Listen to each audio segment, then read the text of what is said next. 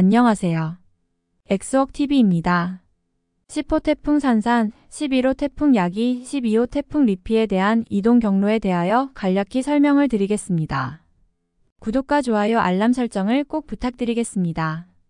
먼저 유럽중기예보센터의 예측에 따르면 10호 태풍 산산은 일본 가고시마 남서쪽 해상에서 중심 기압은 약 970헥토파스칼의 매우 강한 강도의 태풍으로 강력한 비바람을 동반하며 북상하고 있으며 태풍 산사는 북북서 방향으로 이동하며 일본 규슈를 향하며 부산과 남해안 지역에도 영향을 줄 수 있을 것으로 보입니다.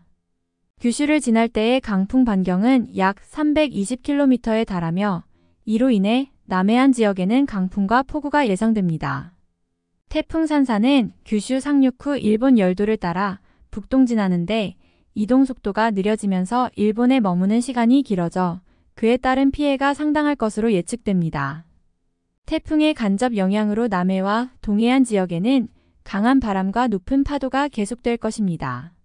한국의 제주도와 남해안, 동해안을 중심으로 순간 풍속 시속 70km 이상의 강한 바람이 예상됩니다.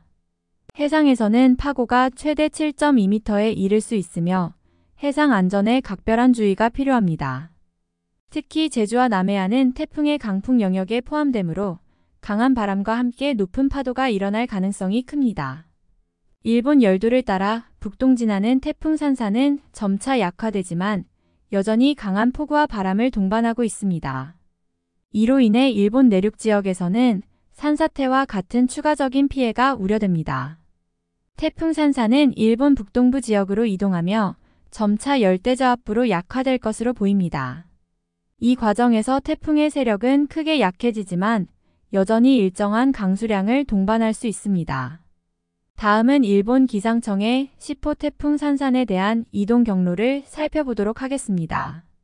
일본 기상청의 예측에 따르면 제10호 태풍 산산의 이동 경로는 매우 강한 강도의 중심기압, 약 970 헥토파스칼의 세력으로 일본 남서부 해상에 북상하여 일본 규슈 남부 지역을 관통한 후에 일본 열도를 따라 북동진할 것으로 예상됩니다. 태풍의 중심 부근에서는 초속 40m 이상의 강한 바람과 함께 폭우가 예상됩니다. 태풍 산사는 일본을 향해 이동하면서 한국 남부 지역, 특히 부산과 남해안 지역에도 영향을 미칠 가능성이 큽니다. 태풍의 강풍 반경은 약 320km로 예상되며 이로 인해 부산과 남해안 지역에서는 강풍과 폭우가 동반될 것입니다. 특히 남해와 동해안에서는 순간적으로 시속 70km 이상의 강한 바람이 불고 해상에서는 최대 파고가 7m 이상에 이를 것으로 보입니다. 따라서 해상 안전에 각별한 주의가 요구됩니다. 태풍 산사는 규슈 상륙 후 일본 열도를 따라 북동진하면서 상당한 피해를 입힐 것으로 예상됩니다. 태풍의 강한 비바람으로 인해 산사태, 홍수, 그리고 해일 등의 자연재해가 발생할 가능성이 높습니다. 규슈 지역은 물론 태풍이 지나가는 경로에 있는 일본 내륙 지역에서도 강풍과 폭우로 인한 피해가 우려됩니다. 또한 태풍의 이동 속도가 느려지면서 일본에 머무는 시간이 길어질 것으로 보여 피해 규모가 더욱 커질 것으로 보입니다. 다음은 11호 태풍 야기 소식입니다. 유럽 중기 예보센터를 살펴보면 9월 3일 오후 1시경에 대만 동부 해상에서 1003헥토파스칼의 저기압이 발생하였습니다. 이 저기압은 북동진하면서 9월 4일 수요일 오후 4시경에는 996 헥토파스칼의 세력으로 강력해졌으며 일본 오키나와 주변까지 도달한 모습입니다.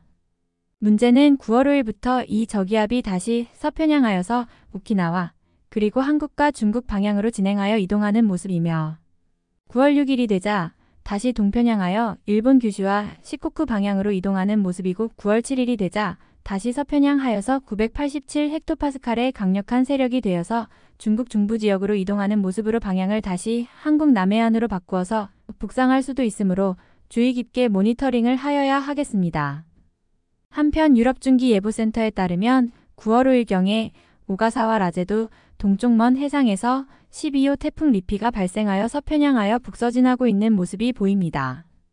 9월 7일 수요일까지 12호 태풍 리피는 먼 해상에서 움직이다가 태평양 방향으로 방향을 잡는 모습이므로 모니터링을 하여야 하겠습니다.